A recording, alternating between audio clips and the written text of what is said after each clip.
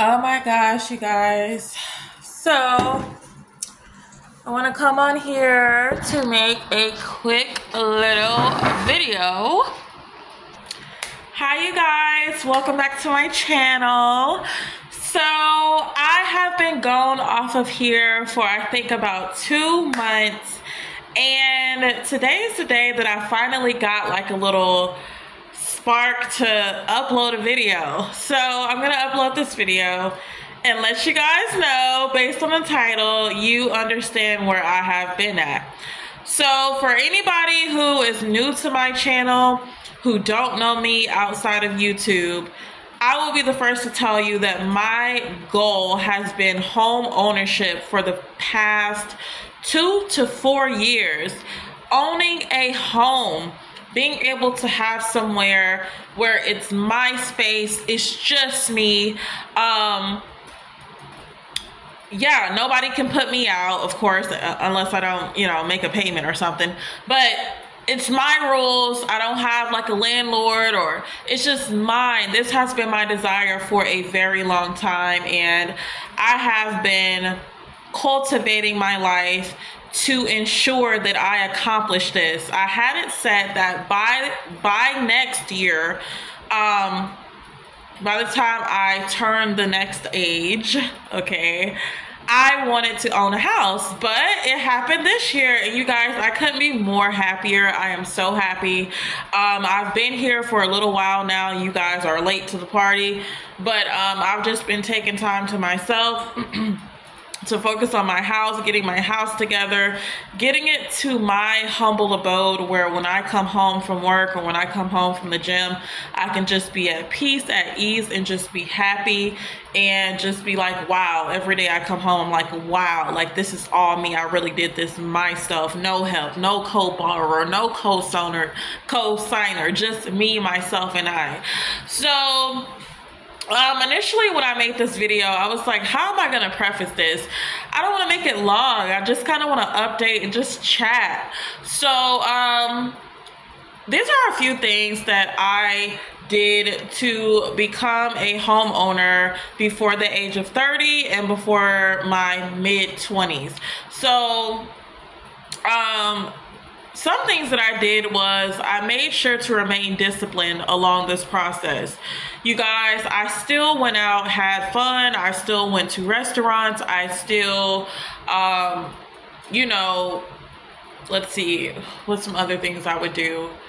Um, pay for my gym membership. I still dated, you know, had relationships. But I always kept at the forefront of my mind my goal, my big goal. I always remained disciplined. I always prioritized my financial stability. Um, every paycheck that I get after I pay my bills, I pay myself. Myself, my savings was considered a bill.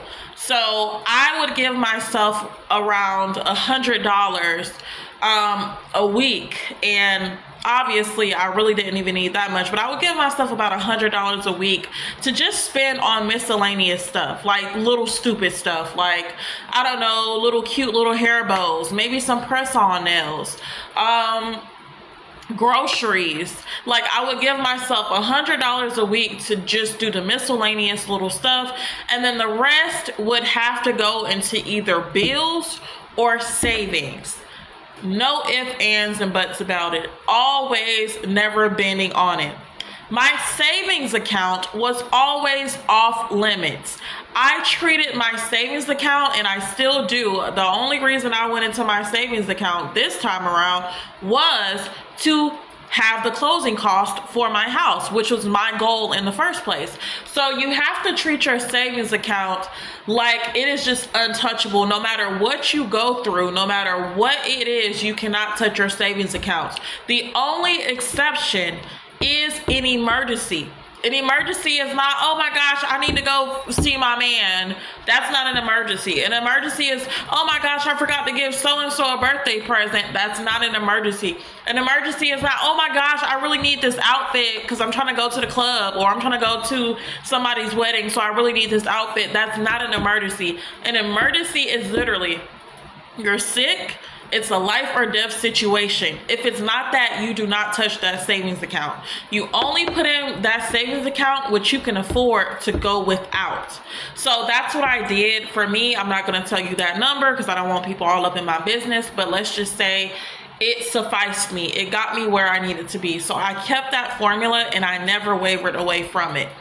So, um, just being aware of the housing market, learning a lot about the housing market, about interest rates, about um, credit, making sure your credit is as high as you can get it before you even start this process. When I started this home buying process, my credit score was 802.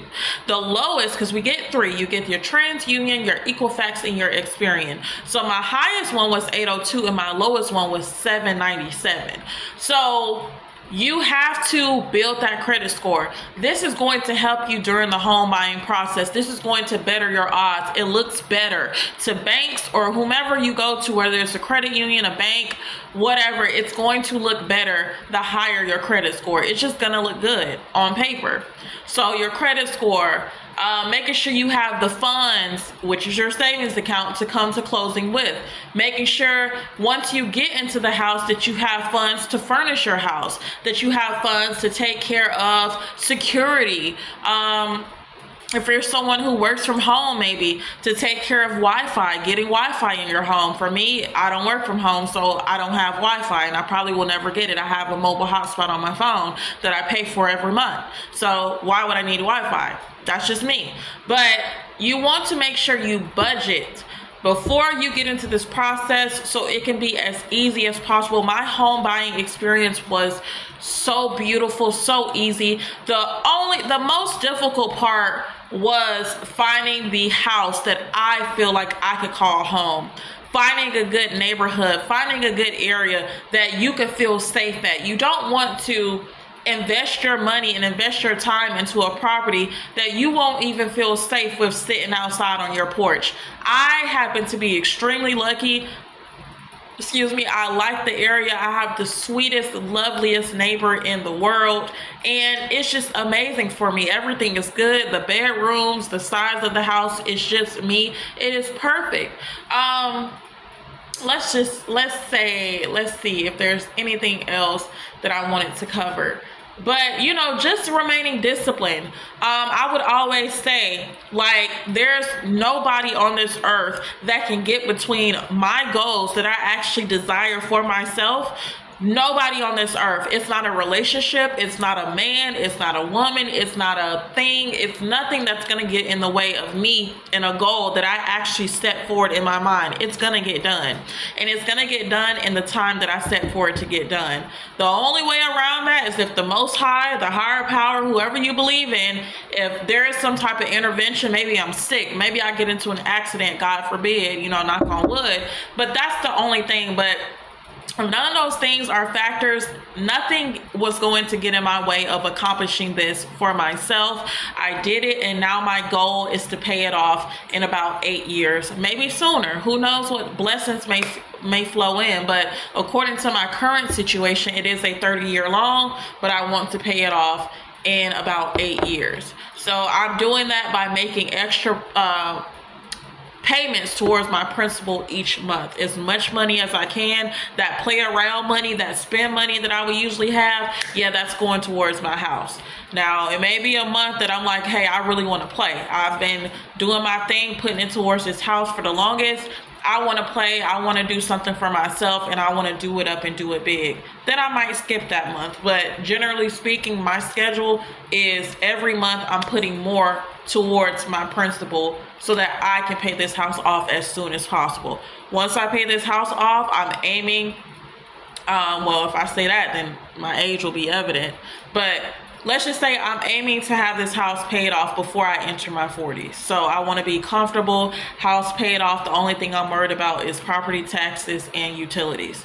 Um, but yeah you guys i just wanted to make this quick video um, to kind of give you guys an update on where i've been what i've been doing. You guys if i'm gone for a little minute it's because i'm making big moves and that's exactly what i did. Um, i am hoping to start back making videos. I just have to find this mojo and find something that i really really care about because you guys i have been so happy. Um, things have not been perfect but I have been so happy. Um, my house, first and foremost, my health. Um, honey, the body, get into the body, okay? Um, and the loveliest, sweetest, amazing, beautiful man entered my life and I'm almost certain that this is going to be my husband. So your girl have been ducked off and just living life. But um, if you guys have any questions about home ownership, about how to get started, what to do, and I didn't cover it in this video, then leave a comment and I'll be happy to respond back. But I think I pretty much scratched the surface. Stay focused, stay disciplined, save your money, save your money, save your money.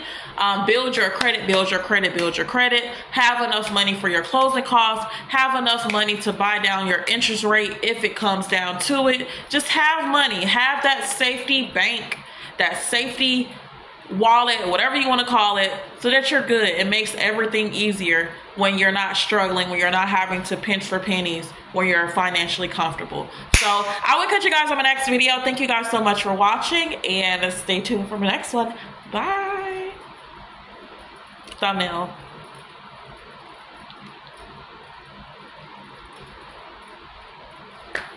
Bye.